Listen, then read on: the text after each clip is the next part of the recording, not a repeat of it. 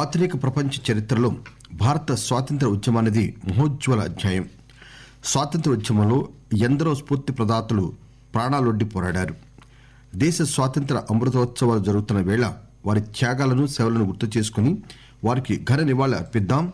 అందులో భాగంగా ఈరోజు మరో స్ఫూర్తిదాత దాదాభాయ్ నవరోజీ గురించి తెలుసుకుందాం.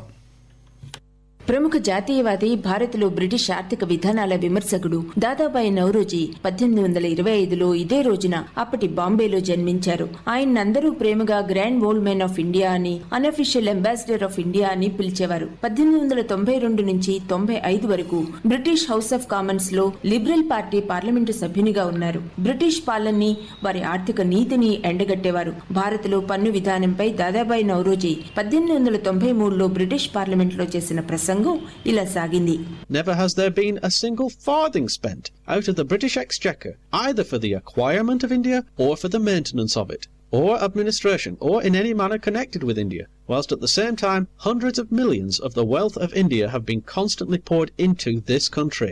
పద్దెనిమిది వందల ఎనభై ఆరు తొంభై మూడు పంతొమ్మిది వందల ఆరు భారత జాతీయ కాంగ్రెస్ వార్షిక సమావేశాలకు దాదాబాయి అధ్యక్షత వహించారు